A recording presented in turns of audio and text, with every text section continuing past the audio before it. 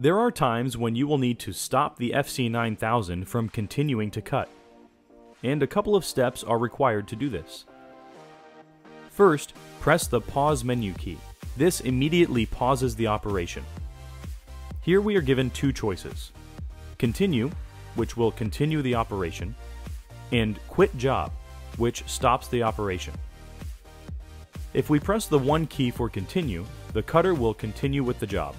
Let's pause the cutting again, but this time we will press the 2 key to quit the job. Here we are given the chance to clear the buffer. This ensures that the data is removed before continuing, but it also allows us to confirm that the software driving the FC9000 has stopped sending data. We can then press the 1 key for Yes Clear, and it will clear the buffer.